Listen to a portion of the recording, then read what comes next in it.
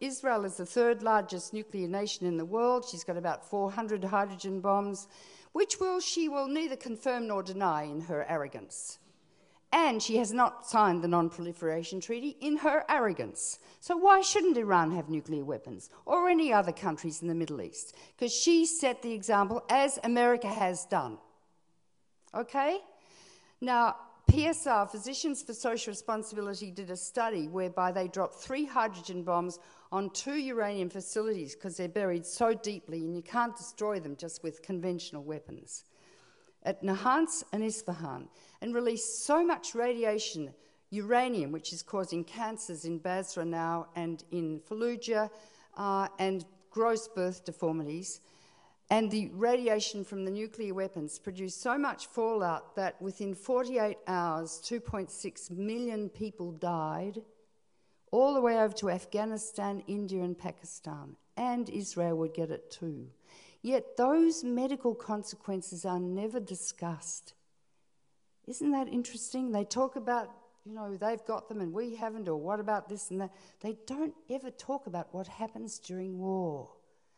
Similarly, when America went into Iraq, a million civilians have been killed, half of whom are children. There are three million refugees, and yet the government talks about how many Americans get killed. Are Americans more valuable than children in Iraq or Iran? Children? I remember when Chernobyl happened, I was on the ABC on a radio program and I was in some airport out in the Midwest. And this man said to me, But they're, they're Russians, they're communists. I said, They're people, I'm a physician. I couldn't understand that attitude. Um, it's important to know that America is in the process of weaponizing space. There's a book here that I co wrote called War in Heaven. Boeing, uh, Lockheed Martin, um, Raytheon, uh, Northrop Grumman are weaponizing space with your money. And they're going to fight war from space down to Earth and, quotes, affect very many kills. And it's happening right now. And they probably put nuclear reactors up there. This is insanity. America's putting anti missile bases right up to the border of Russia in Poland and Czechoslovakia. It's really making the Russians cross. How would you feel if they put anti missile bases right up next to your border in Canada? You wouldn't like it, and your politicians wouldn't stand for it. So the Russians are getting very annoyed with America, and they may not sign or look after the new uh, START treaty, and they, may, they, they say they're going to build more nuclear weapons. Oh, well, so what's new? This is real insanity. Um, a nuclear war, I want you to know how a nuclear war, America's got a policy to fight and win a nuclear war, and I'll walk you through it quickly. How do you win a nuclear war? Well, you all your towns and cities with a population of, uh, well, I've got a big bruise on my arm, but you'll have to just watch it. um, all your towns and cities with population of 50,000 or more are targeted with at least one bomb. Washington, D.C., with 60. One bomb dropping on New York would vaporize everyone out to five miles radius, turn them into gas, like the little boy in Hiroshima who left his shadow on the pavement. He's in the museum. 20 miles out, everyone is lethally burnt. And the whole area engulfed in a firestorm of 3,000 square miles. And as the fires coalesce across America, America will burn north to south, east to west, even in the middle of winter. And as the fires burn the cities, a huge cloud of toxic radioactive smoke rises into the stratosphere, circling the Earth with a cloud so thick it blocks out the sun for about five to ten years, causing a short ice age, and everything and everyone will freeze to death in the dark and it could happen tonight. I don't know if your NPR stations still have, you're listening to the music and suddenly hear, ooh, and a voice says, male, we are just testing the emergency broadcasting system. Is that still on? Well, this time they would say, we are under a nuclear attack, you've got 10 minutes to reach the nearest fallout shelter. Not that it'll do you any good. And we get close to nuclear war many times a year. Yeltsin got to within 10 seconds of pressing the button. 10 seconds. That's how we're still here. I don't actually know how we are still here. Now, there's an article about cyber warfare that people are hacking in to the Pentagon over a thousand attacks a year, and they're hacking into the early warning system. You know, a young 15 year old boy whose frontal lobes aren't well developed because they take a while to develop in young men, and I've got a grandson at that age. He's almost in communicate. Com- I can't communicate with him. Um, they're brilliant, some of these kids. They could hack into the early warning system and blow the earth up for fun. So we are in a very invidious situation. So, how do you win a nuclear war? Well, first of all, Mo- uh, America will target Moscow and decapitate Putin so he can't press his button. Decapitate is a word used by the Pentagon. And then you will send all your weapons over two bombs per missile silo in Russia to knock out their missiles because they're very buried very deep. Now, the Russians don't want to lose their missiles before they launch them. So they have dug a great big hole in the Ural Mountains where they've got a missile called the Dead Hand. And if they see your, they, if they know that Moscow's been taken out, and they see your missiles coming by their satellites, they launch the Dead Hand with radio control, which launch all, launches all their missiles without human input by computer. Now, that could go off accidentally. There are lots of ways a nuclear war could start. Um, so it's imperative that you rise up as one, turn into Johns and Jones of Arc, climb on your white steeds, ride across America, and get rid of these bloody things.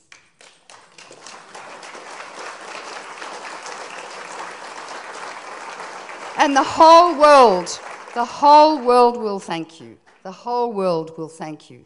So we can fix nuclear weapons, we can fix nuclear war, and we can pr- provide abolition of nuclear weapons. If Russia and America abolish their weapons, Israel will be forced to. Pakistan and India, which could go to nuclear war any day or any time, would be forced to get rid of their weapons. And then you have the moral authority. America has no moral authority at the moment at all. Now, um, before I finish, I just want to say because people say, well, if we don't have nuclear power, what are we going to do? I commissioned a study three years ago by a wonderful man called Arjun Makhijani called Carbon Free, Nuclear Free. And the truth is, this is a very intense and intelligent and technological study. There's enough renewable energy now to supply the whole country with renewable energy. Why isn't every house in California covered with a solar panel? Why? Well, you tell me. Why? What? Yeah, but it's you. You've got to stop being passive and sitting at your Facebook all day will do nothing. The Occupy movement has been good, but you've got to be very creative now. And you need a solar hot water system on your house. And you need solar panels on all the parking lots. And you import electric cars from China, you plug them into the solar system on the parking lot, power them up, drive them home, and then plug them into your house and recharge your house. I mean, it's all simple. It's all in this. There's enough wind west of the Mississippi to supply the whole country with three times the amount of electricity you currently use. Will you have to upgrade the grid? Well, guess what? That would provide thousands or hundreds of thousands of jobs and elevate the GDP like the New Deal with, a, with Franklin Delano Roosevelt. Huh? Geothermal energy, it's available anytime. You waste 28% of the electricity you use. Waste by leaving all the lights on. You must not leave your lights on because it's global warming. You're killing the planet. Or producing nuclear waste, which will produce epidemics of cancer, leukemia, and genetic disease for the rest of time. You must turn your lights off. Turn off your computers, your DVDs, all those flashing lights. Don't use clothes dryers, for God's sake. GE makes good things for life, like clothes dryers, irons, refrigerators, nuclear power plants, nuclear missiles, and nuclear bombs. Hang your clothes outside. Ooh, but Mrs. Brown might see your underpants. Ooh, or your brassieres. Ooh, There are laws in certain states that forbid you to hang your clothes. That's ridiculous. Hang them out and dry them with a nuclear reactor in the sky. If it's cold in the winter, well, it's not really cold in California. We've always dried our clothes outside in Australia. Dry them in the cellar beside the furnace. Nuclear power produces 20% of the electricity you use, so you don't need nuclear power plants anyway. Hmm? Japan had 54 reactors, only two are operating. They're not dying. Well, they'll be dying of cancer, but they're not dying from lack of electricity. They might be sweating a bit in the summer. Oh, but you mustn't be too hot in the summer. That's what we've got sweat glands for. The latent heat of vaporization dries us.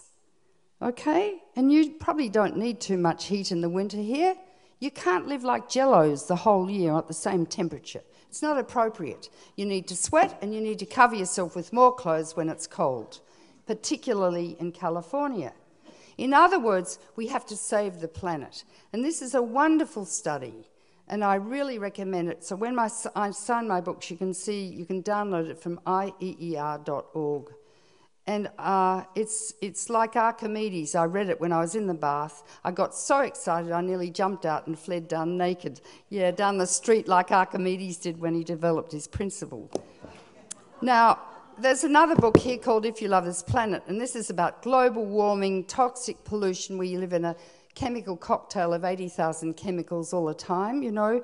You mustn't ever drink water out of plastic bottles. It's got hormone mimickers in it, phthalates and BPA which is causing uh, increased breast cancer, probably stimulating breast cancer cells, stimulating prostate cancer cells, and causing early menarche in little girls who are developing uh, breast buds at the age of four or five. That's what we think in pediatrics. Uh, deforestation, uh, overpopulation. We've got too many people and we've got to stop having babies. And these stupid Republicans, I don't know what they're on about, but they are fascinated with women's genita- genital tracts. I mean, I, well, why don't we look at some male genital tracts? I mean, I, it's really, really strange to me. I don't understand. But they really, we really need to be looking at the fact that one, 200 years ago, there were 1 billion people, and now there are 7 billion. We're increasing exponentially and past the carrying capa- capacity of the planet. Then I go into the media and Rupert Murdoch and all sorts of things, why and how, and how we can fix the planet. So that's an interesting book, I think, and it's just been revised. But I want to show you one other thing. If you fly over the Dakotas and you look down from the plane, you can see these round circles connected by a sort of cobweb of roads. They're the missile silos, and in each missile silo is one missile with three hydrogen bombs and two men aged 18 to 21. Yes, sir, no, sir. Press the button, sir. Each armed with a pistol, one to shoot the other if one shows signs of deviant behaviour. The locks are 12 feet apart, so one man can't turn both locks, but they worked out if you tie a string to one key, one man can turn both locks. Um, so there are many missiles and many hydrogen bombs in those silos, which is really scary. And now I want to show you something else. You've got 14 Trident submarines that silently coast around the oceans ready to launch missiles at Russia or China, because you've targeted China since the Cold War ended. In each Trident submarine are 24 missiles, and on each missile are eight hydrogen bombs. Eight. So I'm going to try, show you a Trident submarine, but you multiply this by 14. And it's true that a commander of a Trident, if he gets his 2IC to agree, could launch his payload without communicating with the Pentagon. Hmm? So let's show you a Trident submarine. Can you believe that? And you've got 14 of the things. And Romney wants to build more because you don't have enough. This is called nuclear psychosis. And it's time it ended, and the opportunity is now because you're friends with Russia, and now you must do it. I'm 73, I could die soon. I'm passing the torch to you, I'm mentoring you. And if you don't do it, I'm not coming back. Thank you.